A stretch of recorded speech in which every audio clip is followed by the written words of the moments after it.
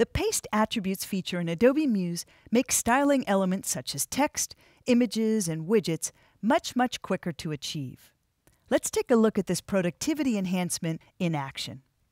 I'm here in Adobe Muse, and the first thing I want to focus on is applying some text styling as I'm working. You'll notice on the left-hand side, the text looks pretty well styled. The content on the right does not have any styling applied yet. So the first thing I'll do is click on the word Kava and open up the text panel. In the panel, you'll notice I've defined a typeface, a point size for that typeface, and a color. I've also defined tracking or the spacing between letters, as well as leading or line spacing. I want all of these attributes to carry over, so I'll close out that panel, and with the word Kava still selected, I'm going to bring up the right menu and select Copy Attributes. I'll then go to the Destination object, select it, and in the right menu, select Paste Attributes. Now let's say, for example, I wanted most of those attributes to carry over, but some parts I didn't necessarily want to apply. If I undo the styling that I've just applied, with the object still selected, in the right menu, instead of selecting Paste Attributes, I can select Paste Selective Attributes.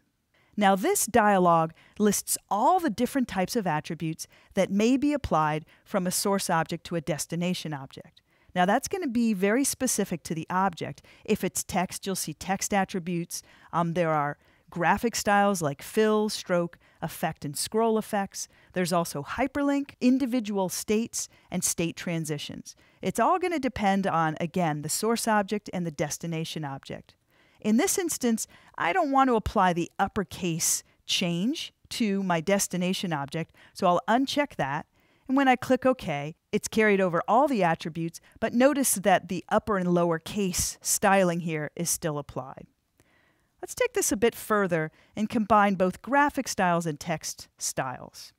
Down towards the bottom here, I have some text blocks. And the block includes some text, but it also has a stroke to the text container and a fill color.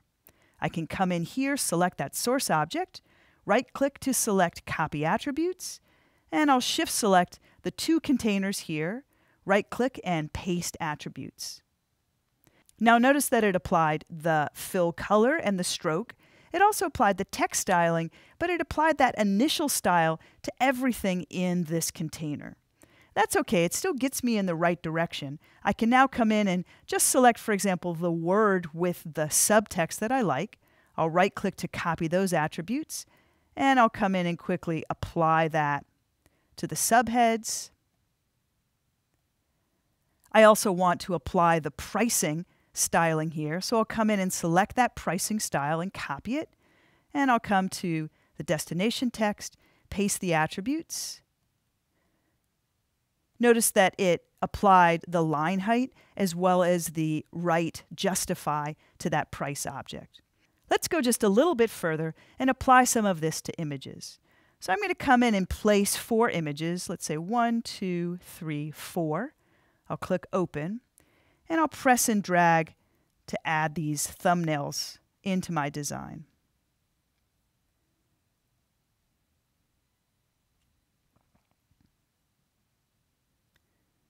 All right, with those pretty well set, I can come to the first image and I'll apply some graphic styles.